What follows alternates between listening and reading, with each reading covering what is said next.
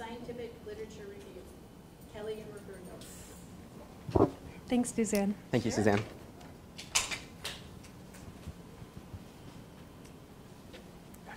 Oh, yeah.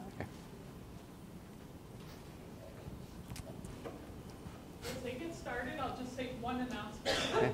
When you talk, when they ask you to talk, we're gonna ask you to use the microphone, so if you can just wait, we'll run a microphone. You can maybe move over so that you're Yeah, closer. so I'll Okay. run around. Will be my exercise for the day.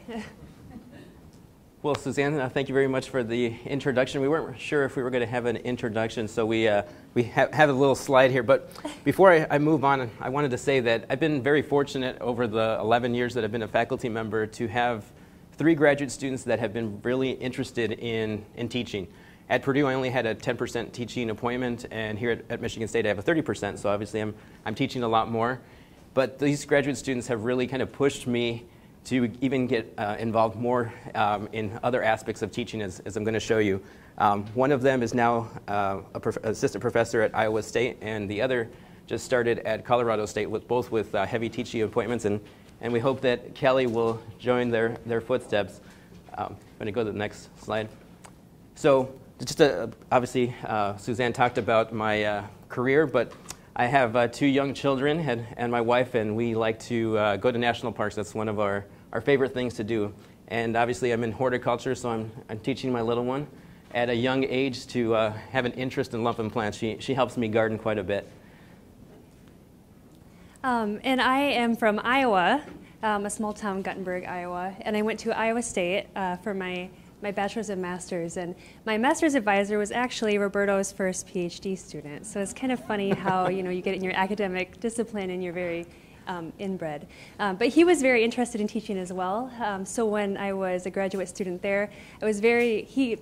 Um, let me be very involved um, in teaching and helping um, steer his courses. So, uh, implementing primary literature review um, in the classroom. The first thing we'd like to do is ask you guys a few questions.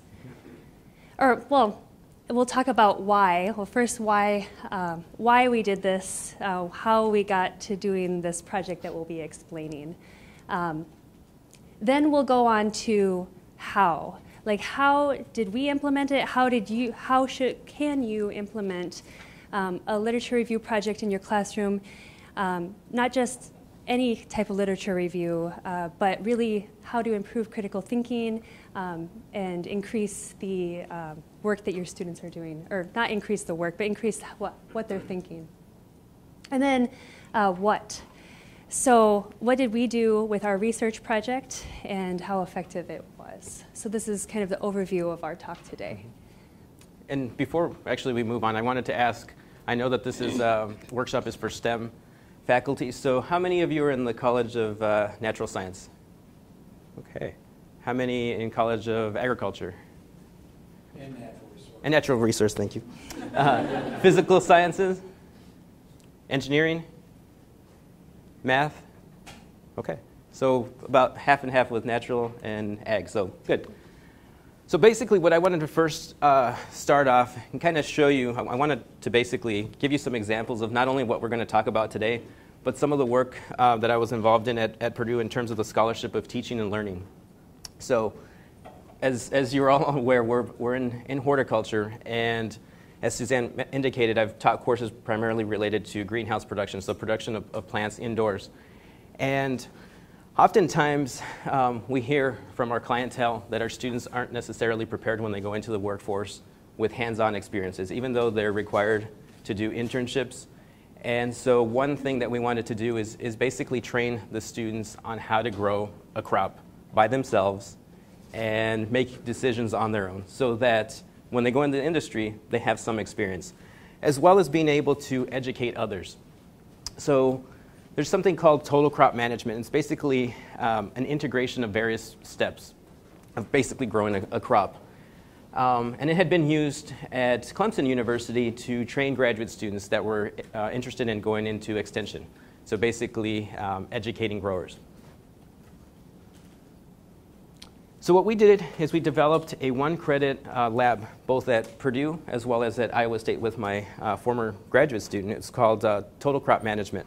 So basically, in this um, one hour, one and a half hour uh, lab, basic uh, students would collect data. They would go through the crop. They would measure uh, the height. They were basically growing a poinsettia crop, which is probably one of the most challenging greenhouse crops to grow. Um, they would collect pH and EC. They would look for pests. Um, I'll, I'll show you some photos of, of what they were doing. And then we would come back to the lab and discuss what they found. They would basically plot their data. We would discuss, uh, you know, what they saw, and I would, I would act as their consultant. So I would kind of try to steer them in the right direction. Then it was basically team-based decision making on did they have to apply a plant growth regulator? Did someone have to apply a pesticide? Um, was their height getting uh, on their crop too tall? Did we have to adjust the temperature or the light? So basically, again, it was a weekly decision-making and management approach. And I was, uh, you know, pretty excited teaching this course because, you know, it was, it was relatively small, about 12 students. And the students were um, very dedicated, also wanted to make sure that they were going to produce a, a high-quality crop because they were actually going to get to sell the crop at the end. So they, bet, they looked at uh, pest and disease, plant growth, uh, looked at median water quality, and uh, measured weekly temperature and light data. So this is some of the data that they collected. So they would make decisions on what they had to do to adjust the pH and EC of their crop. They made decisions on when we had to apply a plant growth regulator. So this is basically the, the height of what the crop uh, needed to be. So the, um, a lot of the retail stores won't accept a poinsettia crop if it's too tall or too short. So you can see they, they did a nice job with their crop at the end. It basically was right in the middle. So one way to um, basically assess how well this total crop management um, course was going is we, had, we did a pre and a post uh, student self-assessment. And obviously we had to get uh, IRB or Institutional Review, Review Board approval to do uh, testing on human subjects. So that's something that if you're interested in, in doing some of this, make sure that you go through uh, the IRB process. It's, it's actually relatively um, easy. Um, so these are, are the different things that we asked them right prior to beginning the course. We asked them uh, their understanding of total crop management, how to implement some of the concepts, um, if they had any idea of how to control plant height, um, etc. So um, some of the interesting things that we found is at the beginning, um, most students indicated that they had some understanding of, the various concepts that we were going to cover in the course. But it was nice to see that at the end, except for substrate and water, water quality, um, that, that they did uh, learn some of the aspects. They felt much more confident in being able to um, interpret data as well as to um, suggest uh, to a fellow, let's say they, they had a position in a greenhouse, um, what, what they needed to do. So we basically found that the use of total crop management increased student confidence. And that's one of the things that Kellie and I are going to talk about today is, is trying to increase student confidence through other aspects than, that, that we uh, traditionally use in the classroom. So um, again, total crop management uh, increased the understanding and principles um, and strategies involved in, in total crop. So we uh, published a paper last year. If you want to read more information, it's in HortTechnology of, of how we implemented this uh, particular uh, new strategy for undergraduate students.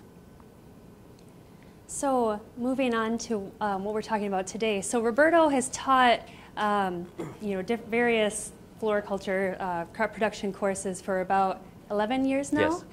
and um, he's done a lot of primary literature review, and I think that's a pretty um, common um, activity that's done in, in science courses. And um, last year, I was a FAST fellow, and I was thinking, okay, if we have a lecture course, so uh, for example, his greenhouse structures and management course does not have a lab to it.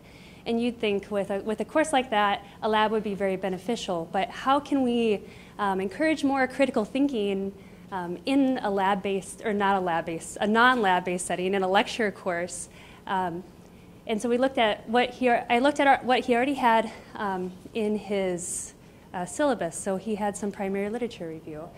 And um, that's kind of how this project came to be. So, how can we increase critical thinking um, with, with um, primary literature? So- So we've basically, I've incorporated primary literature into 200, 300, and 400 level uh, courses.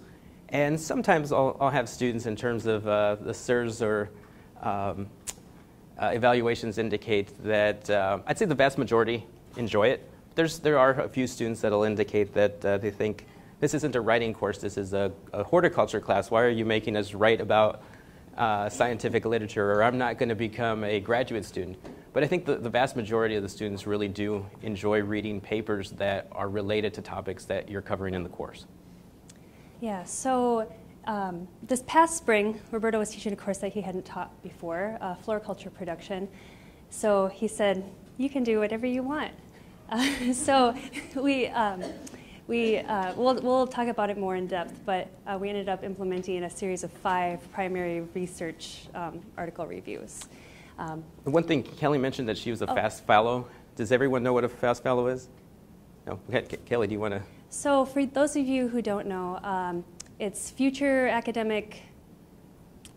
I don't remember what it stands for, but it, it's so I want to be a faculty member someday, and we're so focused on our, our scientific research. I'm always in the greenhouse or in the lab working um, that I really wanted to improve my uh, teaching and to, to learn how to do teaching research.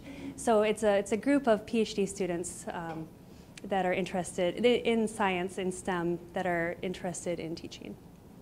So, yeah, with that, uh, we have a few questions because we, we want to know what you guys have been doing in your classroom. Uh, what do you teach? What courses are you teaching? Organismal population biology. Organismal population biology. What? Human- Human dimensions of fisheries and wildlife, Fi- fisheries and wildlife? construction decision making. Okay. General chemistry. Chemistry. I could use a chemistry review. what else are you guys teaching? Biology, fisheries and wildlife, chemistry, Neuroscience. neuroscience. So we have a pretty broad um, variety of disciplines. Um, how many of you, uh, by show of hands, currently use primary literature in your course? Okay. So maybe about half. Um, well, we'll be going over, um, if you don't currently um, have primary literature, we'll be going over some steps on what we think, um, how to implement primary literature. And then for those of you who already uh, have a primary literature uh, project in your course, maybe how to beef that up a little bit and improve critical thinking. Um, so why do you, you, why use primary literature? Why do you have it in your course? I want students to learn how to read graphs. How to read graphs. That's, that's important. That's something that's lacking sometimes. Any other reason? I want students to understand what's currently um, being done in the field. So, current information, just keeping up with what's going on right now. Yeah, I like doing popular versus primary literature. So popular. Kind of see what- Secondary. Yeah. Yeah, Mhm. primary versus secondary literature. And that's something that we've been talking about in our course as well. Yeah. And one thing that I also like to, um, I think is important, is that oftentimes students don't necessarily understand what we do beyond teaching, or if they do, uh, you know, they obviously they, they know that we do research. They sometimes think that their tuition dollars uh, basically fund our research. I think it's a, a common misconception with, with undergrads. So that's something that I try to do when, when I give a lecture. I basically have a lecture on primary and secondary literature, which I'll be doing on Thursday, to get them to understand you know, the whole scientific process and why we conduct research in, in universities and how that is applicable to what they're going into. So, lastly, okay, what you're you're implementing primary literature. What level of Bloom's taxonomy does your activity fit into? Does anybody want to jump in on this one? So, are you teaching mainly for content knowledge? A lot of remembering, um, maybe trying to get them to understand some of the concepts. Um, we'll talk about this a little bit more and how. Yeah. So I, I use it for some critical evaluation. Okay. um, But also as a starting point for philosophical discussions. Okay. Um, the, I teach a course at zoo animal biology and conservation, and so it deals, uh, I deal with some ethical issues of, okay, this is happening, what do you think about this? Right, like we, we medicate many of our primates now to keep their stress levels and anxiety levels down with SSRIs like we give to humans. What do you think about this? Do you think it's a good idea? See, that's a great. So, sorry, I should have ran this over to you, but um, I'll just repeat a little bit of that for the, the microphone thing. Um, so, using primary literature as a springboard for classroom discussions. So that's a great way to increase, um, you know, increase critical thinking. Um, and we'll talk about a little bit of that here too, because that's some of what, what we were doing. But that's a great way to use uh, primary literature. So I was thinking like why why we started implementing it. So like you said, a source of, of new technology and methods. Where else can you find the newest methods besides in research papers like this?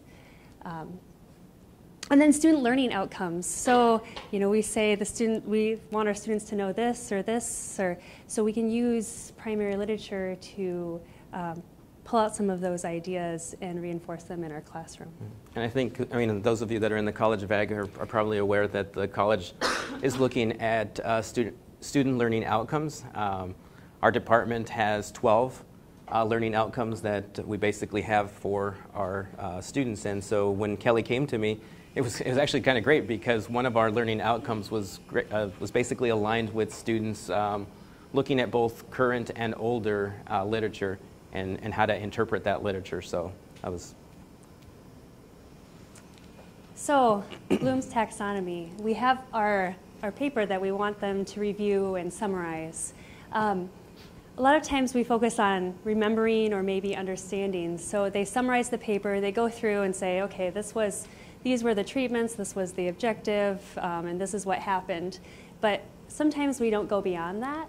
And again, through this project, we want to um, kind of move up on this pyramid um, to create. We want students to create, um, not only to analyze the paper, but to create recommendations. So we're focusing on creating recommendations for our audience, which is a greenhouse grower.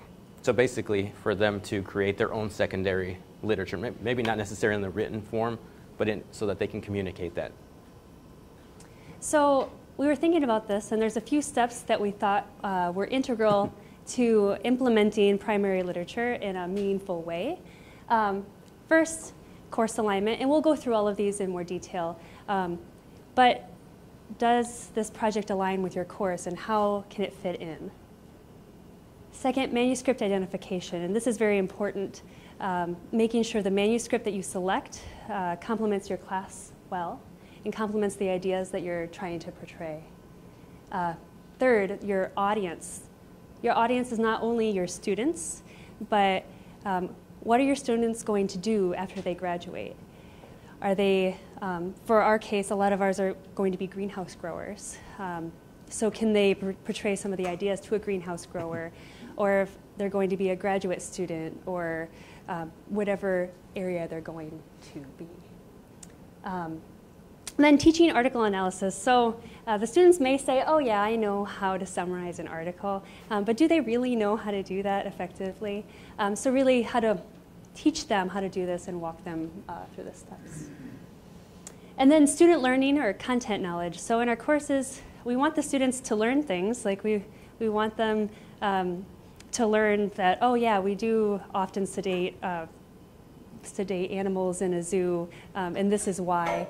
But we also want them to think about it a bit, right? And so our focus was on creating recommendations or facility, facil- giving them the, um, the information that they need and the ability to think about whatever issue was in the paper um, to provide recommendations to our audience. And then follow up.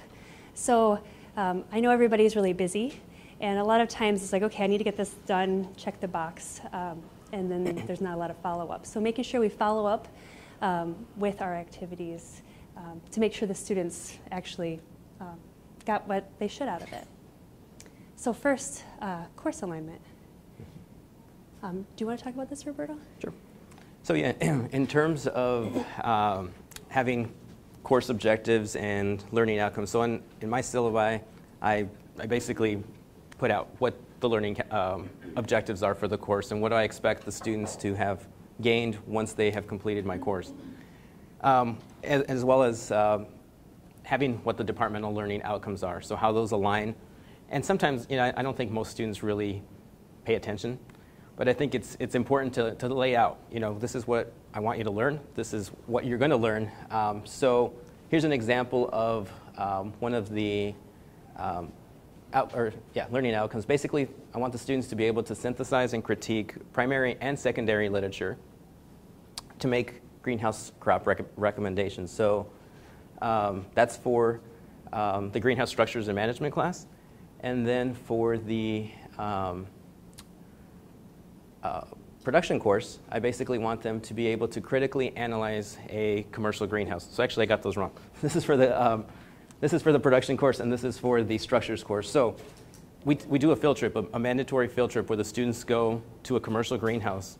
And what I do is basically have them critically analyze the greenhouse from what we've learned. So, what are some of the mistakes that they may have made when they constructed this greenhouse? And they actually talk to the greenhouse grower and, and tell them that. And sometimes the grower's like, wow, I never even thought about, you know, that I have this huge gap where basically dollar bills are, are going out. And so um, I think that really helps the students to um, not only, you know, take in the material, but also be able to, to communicate. So Another thing I wanted to point out were these two um, course objectives. So this one clearly states, okay, I want you to be able to read this primary literature and analyze it. And this other one is not saying, okay, this, maybe this doesn't pertain to primary literature, but you can look in your, in your um, course objective and say, okay, there is this manuscript about um, greenhouse, the glazing material. And maybe if you have this type of glazing material, it's better than this type, and this is why. And so that will help facilitate their critical analysis of a commercial greenhouse. Um, so whether you explicitly say, um, we want you to be able to you know, critically analyze primary literature, or if you're implementing this um, to support a different objective, um, it can be implemented many different ways. So, and Roberto kind of touched on this, departmental learning outcomes. And that's something that our department just started doing a couple years ago. And um, I was the faculty representative uh, for our graduate organization. So I was going to the meetings, and some of the professors were like, oh, um, I can, I'm choosing how I'm you know, measuring the departmental learning outcomes so I can just change those and the, the, you know, the measurements increase, our scores increase. Um, but there's a survey of the students at the end, and if the students are saying, oh, I don't really know how to do this very well, um, then that's something we should address. And how do we address um, issues with learning outcomes? Um, we're all scientists, right? So we can use a scientific method. Um, and that's kind of what we're doing here in testing some of the ideas that we have. Um, but you can treat your different learning outcomes as a science experiment, trying to implement new ways and really testing that to see if it's effective. So, so, basically, what we're doing is not only do we have the learning outcomes, but we also, within the department, are assessing, uh, making sure that our students are actually at the end of the course, um, they're, they're, uh, they've mastered the particular learning outcome. So, in our department, we have about we want 80% of our students to master the, that particular learning outcome. So. Um, we have various methods of, of basically looking at that. So for us, we basically looked at uh, the summary that they write for their primary literature review um, for this particular learning outcome. So if this is one using multiple sources, including current and older literature, to find, evaluate, organize, and manage information related to horticultural systems, students should be able to do that when they graduate from our department. Um, if Roberto says, my students are learning this in my course and they're not, then that's a problem. Um, so we decided to evaluate it more in depth. So um, along with course alignment, how will this be advantageous to your course? So if you're implementing a project just to create more um, work, that's not very good. That's more work for you, more work for the students. Um, but really have a purpose uh, for it. So, you know, again, that backwards design, you have your objectives. Um, how can this uh, help your students learn more? How can this uh, work in your course? Um, you can use it to reinforce ideas, to facilitate more discussion, um, like you're doing in your course there, and to increase confidence. So that's one thing that we found our students, um, if they're going to be an extension agent and they have to talk to growers, they might not be very confident in their ideas. So this gives them a little bit more practice um, to share in sharing their ideas. Uh, so then manuscript identification. So what topics would you like to supplement? Um, check the syllabus. So Roberto was teaching the new course. Um, I went through the syllabus and said, okay, you're teaching about Easter lilies. We'll get a manuscript about Easter lilies. You're, this day you're discussing um, plant growth regulators, then we'll have a paper about plant growth regulators. Um, if there's a course that you've taught uh, multiple times before, you can identify weaknesses. You always know those topics that students are like, oh, they just, it doesn't click very well. And maybe there's a manuscript that um, can highlight the, you know, the, the process that you're looking at. And some of it, so some manuscripts might be like the newest information that's just out. Like, oh, we can manipulate growth this way by doing this, that just the paper published last year or something. Or it might be a pretty old manuscript that has some of that foundational information. Um, sometimes, I was thinking about this, and sometimes, um, you know, you're learning a new concept and you just assume everybody's known it forever, but it's, it gives you a different perspective when you read those foundational papers, and maybe that would help your students gain perspective um, on reading that as well. So just something to take into consideration. Um, yeah, what do your students struggle with? And really uh, using this type of a project to uh, reinforce those ideas and help them through those problems. And then in our discipline, we basically have um, three tiers in terms of, of, journals. There's the one that's called the Journal of American Society of Horticultural Science, and that one's more fundamental, uh, basic research. So we don't typically tend to use those articles in, in, in these courses. They're two and 300 level. Then we have HortScience, which is basically written for um, researchers. Um, and then we have HortTechnology, which is more for educators and the general public. So, at, at least for the um, production course, Kellie focused on papers in HortScience. And um, as we indicated in our um, learning outcomes, our, our department wants us to look at papers old as well as new. So, papers that were 30 years ago, published 30 years ago, up to 2017 is what we covered in. But we really tried to focus on the topics that we were uh, covering in, in the class and with the structures class, I, I try to pick really relevant papers that, um, like Kellie mentioned, a, a new glazing material um, or a new method of irrigating crops. And students really like these topics because they're, they're new and exciting to the field. And, and we'll go into a little bit more about that a little later. Yeah, and make sure, like if you're um, a 100 versus a 400 level class or freshmen versus seniors, um, maybe your seniors have a, you know, a lot more experience with primary literature review, so you can pick some of those more difficult uh, manuscripts, give them a little bit of a challenge. Um, but ensure the message that you'd like to get across is clearly addressed by the paper. So when I was picking out manuscripts, um, I tried to pick out ones that were um, very straightforward and to the point. And one of them, the students had a bit of problems, a bit, quite a few problems with. Um, it was a paper on fertilizer concentrations. And there was some points that I thought were very clear and I wanted them to get, but then there was a lot of other information and they got bogged down by all that other information and that they didn't clearly get the points um, that I wanted them to get um, until we had our class discussion after this whole activity. Um, so I think going forward, that paper, we might switch it out for a different one that might be more to the point um, so they can really get the ideas. They, they did a great job of summarizing the paper. There was just so much information that it wasn't clear what I actually wanted them to learn. Um, and one tip I have the course objectives and learning outcomes. Do they match the research objectives of the manuscript? So I was, this was after the fact. Um, so one of the objectives of Roberto's course is to develop and implement greenhouse crop production schedules. So the students have to like schedule out when they're going to grow the crop and what they're going to do to, you know, hit the market a certain date. I mean, poinsettias um, have almost no value after Christmas. So you have to be very careful about that. And that's the same with many other crops as well. Um, so one of the manuscripts was about um, how temperature affects perennial forcing time. And the objective in the manuscript was to quantify the effects of forcing temperature on time to flower and plant appearance of all these perennials uh, to provide crop production scheduling data.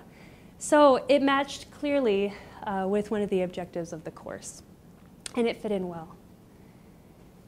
Uh, finally, is the journal open access. So some of the main journals that we publish in um, are becoming open access. One's becoming open access next month, and we're kind of like, eh, the publishing fees are increasing, uh, but it's good for our students. So if we're teaching our students how to use this type of literature, and we want them to continue using it once they go out into the industry, how do they have access to these journals. Um, I know, like Roberto was telling me earlier, sometimes he has master's students go into the industry and all of a sudden they don't have access to the resources that they had while they were you know, here at Michigan State. Um, and what do, you, what do you do? So it's nice that some journals are becoming open access. And if you um, get the students familiar with open access journals, or if there are some good journals in your discipline that are open access, um, it's nice to use those. So then our audience. So who would be interested in this information? Now, this isn't just our students, right? Um, who else would be interested in the information from your, uh, from your manuscript that you're reviewing? Um, obviously, other researchers, right? It's published, um, they probably have peers. You may be interested in it yourself. Um, industry members. So, a lot of the research uh, that we do is very applied. So, a lot of people in the greenhouse industry are interested um, consumers. So if you're working, say, with food crops or something, the consumers might be interested in that. Um, government, uh, producers, or growers in our case, um, or others. So there's a lot of people that could be interested in this type of research. And just keeping in mind um, who your students are going to be someday. What, what are they going to do after they leave your classroom? you know, is this going to pertain to them? So when they are going through this primary review uh, process, keeping the end audience in mind so is important. So for uh, the courses that I teach, have prim- primarily horticulture students, but I also have quite a few um, students that are in ag tech, which is a two-year program. And I'm sure those of you in, in uh, the College of Ag and Natural Resources know about the um, ag tech program. And, and oftentimes uh, we do see you know, quite, quite a few differences between those students where the, the four-year students, um, I would say, are, are definitely um, interested in, in the primary literature. And the ag tech, they tend to be a little shy. And so they, they need a little more hand-holding in terms of, um, you know, one thing I think was a, was a surprise to Kellie was uh, plagiarism. We, we basically had to, um, you know, have, have a talk with the class about that because uh, some of them didn't understand that you, you know, when you write your summary, you can't take a chunk out of that paper and put it in and, and have it as your own. And, and they were, some of them were, what do you mean you can't do that? And, and it was actually a, a surprise to us that they, you know, were juniors, some of them, and, yeah, and didn't know especially this. Especially when I was a co-author on the manuscript. and, but yeah, no, it's, it's interesting what pops up and what conversations you have to have about primary, primary literature or plagiarism or yeah, and I think it depends on, you know, who who's in your class, and it's important to know the makeup of your your class. Mm-hmm. Which with with Roberto's classes is they're relatively small. His um, structures course that he teaches every fall has about 50 students, and the production course had 27. So, teaching article analysis. Mm-hmm. So, in terms of uh, the teaching article analysis, is obviously um, have a lecture based on the topic that you're going to um, assign a, a liter- literature on. So, um, as, as, Kellie mentioned, what we did with the production course is basically, you know, I'd, I'd have a, course, a lecture on, on Easter lily production. And then we would assign them a paper related to a particular topic on Easter lily. So I believe it's a paper looking at how cold water affects um, stem elongation. So again, with Easter lilies, they have to be a certain height or Home Depot will not accept them. And so there was a scientist in um, Canada that found that if you pulled, put cold water on the plant every morning, the plant wouldn't grow as much. So the students thought that was really cool. Instead of using a chemical, which we typically use, um, you could use cold water. Um, so uh, we also showed them examples of secondary literature. So here's the primary, primary literature that was conducted at a university, and then an extension bulletin was put together. So being able to interpret, you know, the, the uh, scientific and then how it was written and, and um, written in a format that a greenhouse grower could interpret and utilize. Looking at the various components. So in the lecture that I'm giving on Thursday, it's, it's basically, you know, what is the, what's an abstract? You know, what information do you gather from an abstract? Um, you know, what, what are the numbers on that journal? What do they mean? Because a lot of students don't necessarily know, you know, the issue number, um, et cetera. Um, and then giving them examples of, of literature in your discipline or um, even talking about your, your own research. I, I tend to do that quite a bit in my courses is, is uh, show them how my re research is relevant to the industry and, and what they're going to do once they leave MSU. And then how to find uh, sources. So basically, if they're interested on a particular um, primary literature that they've read in, in class, going to the uh, references and seeing you know, what other papers are available and what resources they have here at MSU to be able to find both primary and secondary literature. Letting them know that Google Scholar is a thing. So that's, and I was just showing a, a, new master's student how to look up his name to see all his old papers. I'm like, that's a good way um, to, to find sources. Um, and I want to say, like with this, um, Yujin Park uh, put together a great lecture. Uh, she TA'd Roberto's course um, one year, and she put together a great lecture on introducing the students um, to um, primary and secondary literature. So that's where I got some of the main bullet points from. So making your expectations clear. Um, so you have you have the lecture, but that doesn't always you know walk you through um, the paper. So providing a comprehensive rubric um, we've found to be very um, beneficial. Yeah, and so um, if, if you'd like the rubric that we give, uh, just send me an email and, and, I'd be more than happy to share that with you. Um, basically, that rubric, I created it when I was at Purdue, and and every course that I taught that I had primary literature, I, I basically modified that rubric, but students really like it because it, they know exactly what you're looking for. They know how many points um, they're going to get, and, uh, and then they can't argue with you, well, why didn't I get points for this particular? It, it, told you this is what you needed to write about, so. So these are some of the main questions um, that we have in the rubric that we thought would be um, applicable to almost any manuscript. So, you know, even if you're I don't know about math. I don't know how the papers are generally structured, but in a lot of, um, I know a lot of different scientific and even the teaching uh, methods papers, um, you can kind of go through um, these questions. Where was the study conducted? Uh, what were the objectives? What was the control? That's something that I found students have issues with. What's a control? If it doesn't say this was the control, sometimes it's hard for them to pull it out. Yeah. Um, but it's a good you know, teaching moment. Um, or, or the objectives. If it doesn't clearly state these were the, the objectives. objectives. they have a very difficult time. But uh, over the course, so we did this this past spring five times throughout the course. Um, I said, you have a week to write this paper. Um, come ask questions. So then I'd get emails or people stopping by my office. I cannot find the control. And they knew that last time I gave them a zero because they just skipped it, you know. But it's like try and you know ask questions. Um, general design of it, interpret a table or figure. So we let them pick a table or figure, and they have to interpret it um, fully. They have to explain to us what it what it means. And we give them, you know, we go over the whole rubric and help explain to them, you know, like what each part means. Um, a couple of examples that, of questions that we put in um, that's specific to our discipline. Um, what plant material was used? they need to write the common name, the scientific name, um, and the cultivar name, and they need to write it properly because that's very important.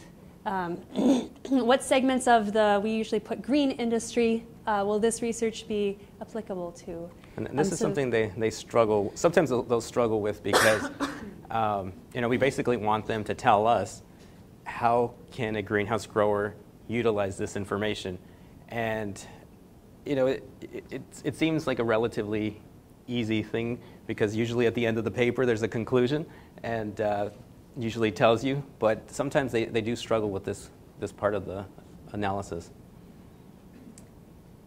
So, uh, moving on to student learning, um, there's a few ways uh, that a few ways that you can implement projects. Uh, we use a paper summary, so we have the students write everything. Um, but I was thinking of a different methods that you could use um, when you have a primary literature project, maybe a class presentation. So you still you could use that same or a similar rubric and have the students present, you know, individually or in a group. Um, we also have exam questions. So uh, Roberto a lot of times has um, questions like, "Oh, you're a greenhouse grower. Like, what would you do?" And it's based it's based off of what was in the paper, but they also have to take into consideration what they learned in the class. Um, and then maybe a video or other non-traditional methods. Um, what methods do you guys use when you're implementing primary literature? Do you guys have any project, or do you just say read it or Writing. writing? In, in that same course, I had, uh, they had to, uh, develop a proposal for keeping a new species at a zoo or aquarium. And so they had to design their, uh, animal husbandry plan, their exhibit design, things of that nature, and it had to be based upon primary research. Okay, so their whole project had to be based off of primary, primary research. That's And then the other thing that we don't have up here that we have is also a discussion in class. So we discuss every paper in class for about half the class, and uh, um, yeah, they, they seem to really enjoy the, uh, that component. Um, another thing that I have done, and I really enjoy this as well, is if it's a topic that I really know the students are interested in, I'll ask the um, authors of that paper if they would join us via Skype. And so then the students can basically ask them more in-depth questions that maybe I can't necessarily answer, and the students really like that, uh, and, and, the authors really enjoy it. So um, that's that's an idea as well for you to, to think about. So again, so we're talking about um, the content knowledge and making sure they're accountable for content knowledge through a paper summary or something. Um, but we're just focusing on remembering mainly for that. But if you use primary literature for a project where they have to create something, um, that's what our, our goal is, right? Um, so we focused on creating recommendations. So we really wanted them, you know, we identified the audience who this paper pertained to, and we wanted them to create a recommendation, uh, in our case, for a greenhouse grower. Um, and this may not be always intuitive, right? Um, so, how do we guide the students in providing information to this target audience? Um, we asked a question uh, What is the practical significance of this paper to the industry? And then we gave them a description. Um, you know, make it, provide a recommendation as if you were talking to a greenhouse grower. And I said, make sure that you have a complete recommendation taking this paper and what you learned in class. So, say Roberto already taught about Easter lilies, then we have the manuscript. So, you have to take this manuscript and what he taught in class into consideration. It has to be accurate. You can't just, um, sometimes you have students with these weird ideas that is not based in science at all, and they want to put that into their recommendation, but that's not accurate. Um, so, their recommendation has to be accurate and it has to be practical. If you're growing that Easter lily or poinsettia and the fastest way to grow it costs $1,000, you're not going to be able to sell that for $1,000. So that recommendation is not practical. Um, and then uh, the language that they used. So the students had to make sure that um, what they were saying was in a way that they would talk to a grower, not necessarily how the paper was written. And they didn't seem to have a problem with this, but we'll go over that more um, later. So, again, accuracy, completeness, language used, and practicality. So, that's what we determined were um, important in the recommendation. And we had a rubric um, to grade the recommendations off of um, these four areas. And as I was thinking about it more, so was a you know zero, one, or two points uh, for each of these. Um, and I think all of them are important Uh, but I was thinking more about this, and I think completeness is one thing that I think could have you know, been given more points. Just making sure that they're very thorough in taking all aspects of the study and what was learned in class into consideration. Um, but then again, follow up. So they turn in their paper and they're done, right? Check the box. Uh, but giving individual follow up through um, grading the assignment. Um, I tried to have the papers graded within a week um, and give that back to them and give them feedback on all parts, like this is the control, so they can look back, or give them recommendations on how to improve their recommendation. So um, I remember the first time I graded them, you know, the scores were not the greatest because I think they were just checking off boxes on the rubric. And I really wanted them to think about it. And they were like, why was my score so low? And I'm like, did you actually think about what you were writing? And most of them hadn't thought about it too much. So in the future, then they, they tended to focus on that a bit more. Um, and then immediate. So you turn in the paper and you wait a week, you forget a lot of things, right? Because you might have written the paper the night before. If you go to class, it's fresh in your mind. Um, I know that's what I usually do, and I think a lot of students do that as well. But and I think um, I'm going to bring up an example here that I that I just thought of. So I had a, a student who, um, this past spring, who did not like doing the uh, primary literature, the whole the whole process, but he wanted to go to grad school. And I said, well, you know, when you go to grad, I, I don't think he really knew what grad school was was all about. I said, you're going to have to read a lot of papers in grad school, and you're going to have to write about them. You're going to have to write your own. And he looked at me and he said, I don't think I want to go to grad school. So I think it's, it's also opens up their eyes in terms of you know what's what's beyond uh, the career goal you know that, that they're interested in. So I actually have to leave. I, I teach at 12:40, but um, Kellie is, is uh, the, the best is, is, yet to come. She's going to basically give you the results of, of her research, and uh, I think they're really quite interesting. So if, if you have any questions, like I said, please send me an email if you'd like the rubric. So, Does anybody you. have any quick questions right now before Roberto leaves? Like, keep you here. All right, thank you. Yeah, so then immediate feedback. Um, as Roberto mentioned earlier, uh, we have a classroom discussion. So they come into class and they turn in the paper, and then we have a discussion about what they just read and the paper that they just wrote. Um, so usually, you know, I have my ideas are what, on what's important and what I want them to get out of the paper. Um, so I, you know, write bullet points up on the board on topics I want them to talk about, and we do a think, pair, share. So, you know, generally smaller classes, but it works pretty well. Um, they're talking about it, and I go around the room and, you know, pick out people that I know can have a good explanation. Um, and then we come back together and discuss each of the topics. And when I go to the results a little bit more, I'm only going to be sharing a couple couple questions, but one of them, you know, I really noticed that the students weren't getting this one, you know, this one area, and I wouldn't have known until I graded um, the papers. But instead, I knew right away because no one in the class was talking about this, this one topic.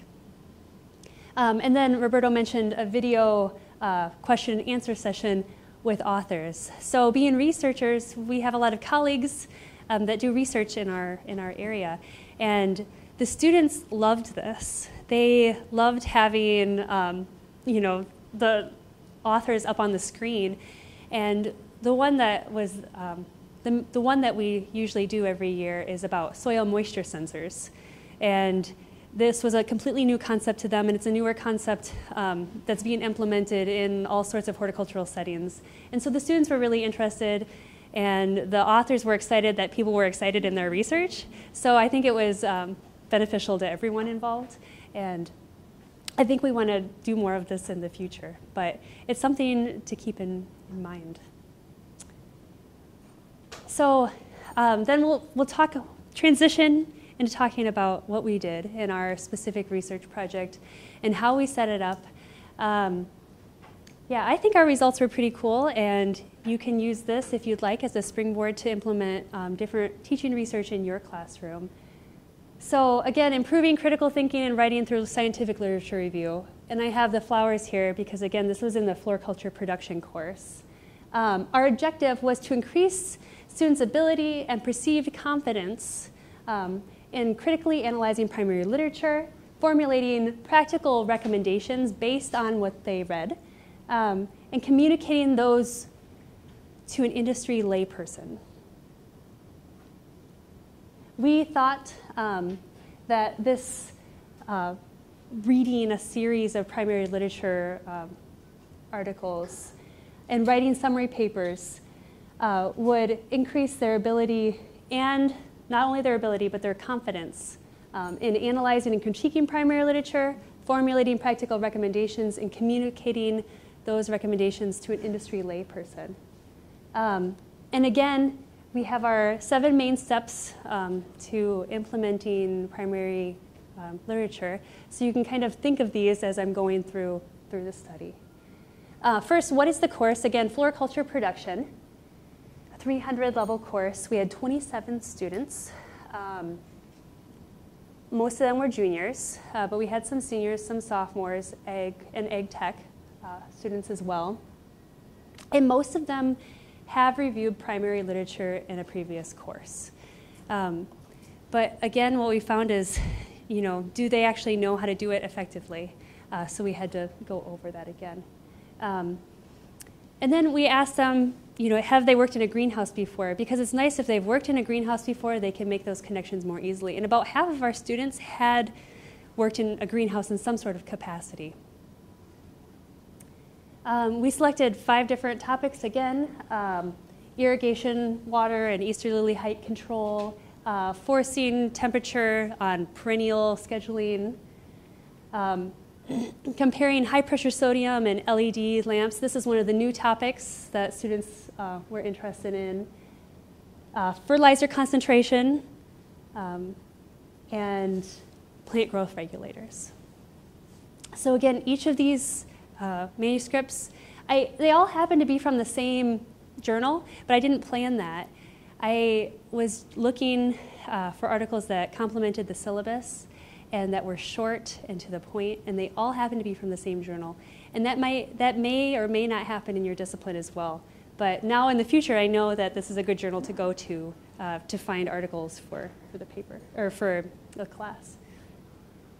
Um, how we set this up, uh, we had a pre-survey, and then after they took the survey in class, um, I would post the article on D2L. And they had a week to write a summary paper, and then it was due in class. And at that class, they turned in the paper and then they took a post survey. And we did this five times uh, over the course of the semester. So we'll focus on, you know, one paper unit. So basically, there were two parts a survey and the summary paper. And if we break down the survey, the first part was a self assessment of their general ability. So this was three questions, and it was the same on all the surveys throughout the course of the semester. Um, one of the questions, uh, for example, was I can read, uh, summarize, and comprehend uh, primary literature. And they would say how much they agreed uh, based on a Likert scale. Then the second part was a self assessment of their content knowledge. Uh, for example, um, I know how.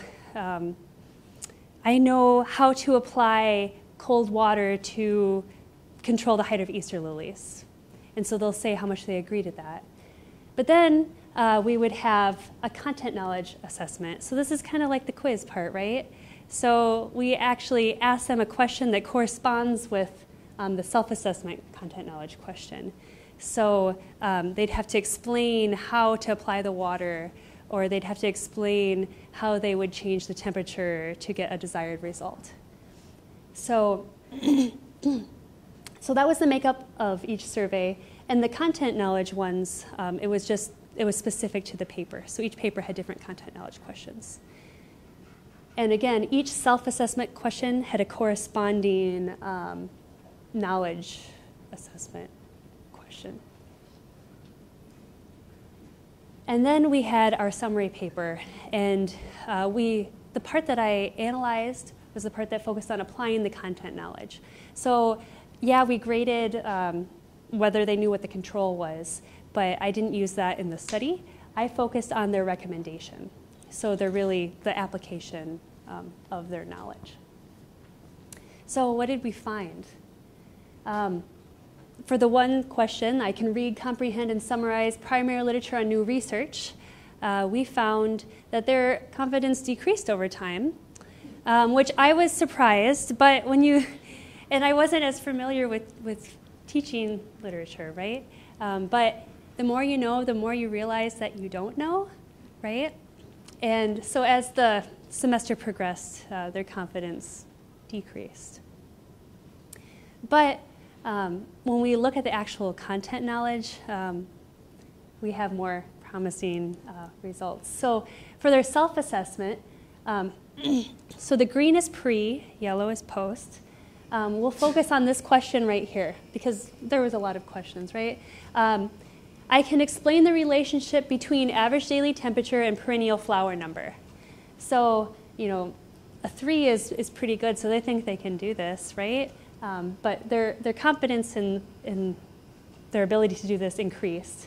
Um, if we look at what they actually knew, um, pre, um, not as much, but their, their, their knowledge increased, so they were learning. We asked them, uh, when forcing perennials, as you increase the temperature from 15 to 24 C, uh, what generally happens to the number of flowers? So they had to explain what happens. Um, and you can see about 20% got correct on the, the pre-survey, and about 90% got the answer correct on the post-survey. So they were learning, right? So that's good, and that's what happens when we do. So when we conduct primary literature reviews, this is what we hope happens, right? We want to teach them our content knowledge and what we want to get across in the class. Um, another question, I know how light quantity and quality influence plant growth. So um, they think they know this. And then when we ask them, in supplemental lighting applications, does light quantity or light quality have a larger impact on growth? And uh, most of them got it wrong at first. And then you can see it was below 60% got it right um, in the post survey. And this became apparent when we were having our class discussion. Um, so, and this is a new thing that was coming up with LED lighting. So a lot of their, our teaching greenhouses, we switched over to LED lights. We had all high pressure sodium lights. And they think that LED lights, you know, having them as supplemental lighting in a greenhouse makes everything grow better. And that's not true. And there's research published that's saying, you know, with supplemental lighting applications, um, they're just as good. They work the same. Um, but students still didn't get that after reading this paper, even though that was like the title of the paper. So we had a class discussion about it, and I think if we did another um, survey maybe a week after, this would have increased because I think having that conversation and really debunking those myths, just reading the paper wasn't enough um, to really get that idea across. Um, and then when they were writing their recommendation, again, we had the four different areas uh, that we graded. Um, so we looked at accuracy, uh, completeness, practicality, and the language used. So in general, uh, their, the quality of their recommendations increased as the semester progressed. Um, the language used, they were pretty good the entire time. Um, maybe that's because they were not researchers and they weren't in that research mindset where they have to make everything overly sciency. Um, but how they presented the information was, uh, was good. So one question that I get when I was talking about this is, what happened here? Um, Roberto decided that they could drop one from their scores. So we only had nine people uh, finish, and maybe they didn't put in all the effort that they that they could have, or maybe only the students who did poorly before um, completed that last one. But in general, um, the quality of their recommendations increased, which was exciting. Even though their confidence increased, their actual abilities were better. So, in conclusion, uh, students' perceptions of their ability uh, decreased, of their ability to read and comprehend, um, but their perceived confidence in their content knowledge um, generally increased, as well as their with their confidence um, or with their actual content knowledge. Um, and then their ability to provide recommendations increased. So that was exciting that that actually happened. I was I was nervous when we started out. Like, are they actually going to improve? And we were very excited when their recommendations did Im- improve. Um, and what are the implications? Um, their perceptions of their abilities may not be an accurate measurement of their abilities. So we saw that um, their abilities, you know, increased while their confidence decreased. Um, and back to this one. So, and I was thinking about this with our departmental learning outcomes. So they're taking this survey before they're graduating about their ability to meet these different areas. And if they're based on this, their, their abilities are increasing, but their confidence is decreasing. So when they're taking the survey, it's at the, when they're graduating, it's basically a survey of their confidence and their, in their ability to do different things. So maybe that's not the best way that we should be um, assessing the, our departmental learning outcomes. Um, this primary literature project is an effective way to increase the content knowledge, uh, which is what we want in our classes, right? Um, and their confidence in their content knowledge. And then, again, similar projects may be implemented to address other student learning outcomes. Um, we're all scientists, we can, we can um, implement new projects. Um, and the students' ability to critically analyze and provide recommendations improved, uh, which was um, one of the main things that I wanted to happen in this project. Um, so with that, um, I'd like to thank these people and organizations. And are there any questions? Yeah. Um, sorry, I might have missed. Can we get those microphones? Oh, This one. Okay, I'll give that to, uh, Kellie. yeah, great, and I can move this around. Sorry, I was a little bit late because I was teaching. I might have missed this. But Okay. uh, did you have a control where you analyze the same kind of progression in a more traditional class versus with primary literature? So we did not have a control. And that's one thing that, so when I was setting up this experiment, it's, it's a rather small class and it's only taught every other year. And I'm like, oh no, I'm, I'm not going to have a control. I don't know what to do. And um, my, my FAST community said, why don't you just do repeated measures and see how it works over the semester? So that's what we did. We did not have a class though where we did not implement um, this project. So, yeah. Other questions? Yeah. Use your mic. Yeah. Oh, sorry. Do you have any recommendations for um, implementing this kind of thing in a larger classroom where grading at that level is not possible? Um, so in a larger classroom, I, I don't know because I don't really have experience in a larger classroom. Um, but I think maybe if you had peers critique each other's, um, each other's recommendations, um, that might be an effective way to, to do this. Yeah, some some peer review maybe. Yeah, So- and then a class discussion to, to build off of that in peer review. Yeah. It sounds like an idea for another workshop.